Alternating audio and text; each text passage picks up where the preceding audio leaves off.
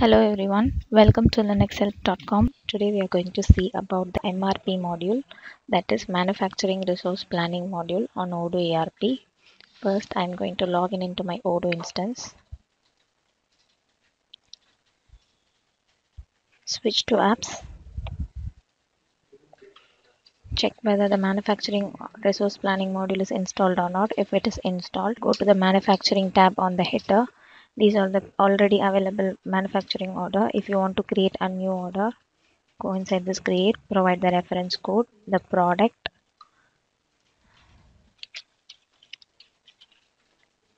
I'm going to create a new product. Provide the internal reference sales price cost price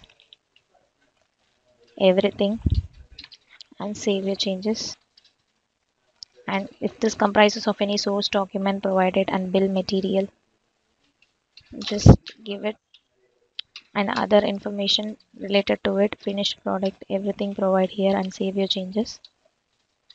The order gets created. Now if you want to confirm the production provide confirm production.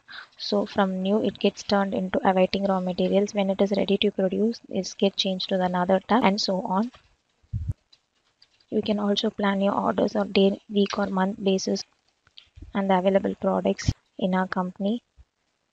Bill of materials which we have created now. In this way we can create manufacturing orders that is the product manufactured in our company. We can create order, take care of bills with the help of this manufacturing module. Thanks for watching this video. Please subscribe to our channel Linux Help for further tutorials, visit www.linuxhelp.com. Any queries, mail to support at linuxhelp.com.